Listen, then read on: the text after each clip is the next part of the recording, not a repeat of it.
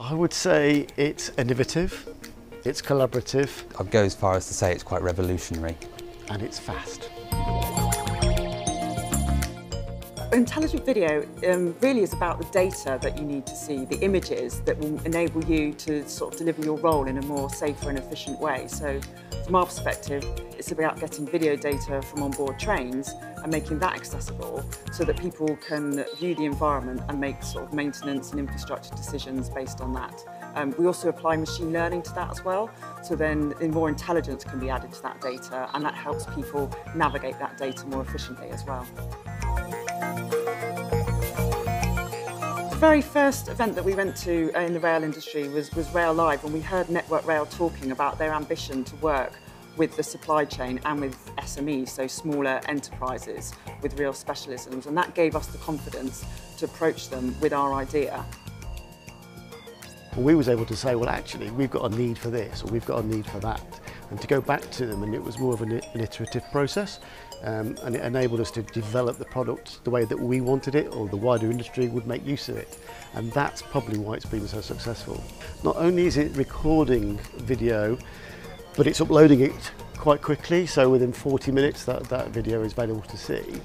But it's providing a, a web-based dashboard for the engineer to see that footage in a way that's far more useful. So um, it, it counts it in terms of location-wise using GPS, in terms of engineer's line reference and mileage and track ID. But what it also does is it, it puts that onto a map so you can exactly see where that location is in the real world.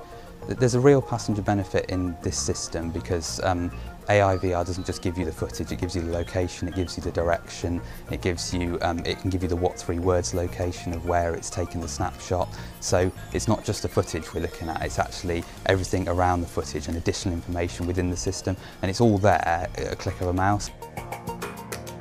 It, it, it has huge benefits and, and I think the thing is about this is it's still growing and it, it's developing and as more and more people become introduced to it and they go, oh, well, actually you could do this with it or could you could it just do this?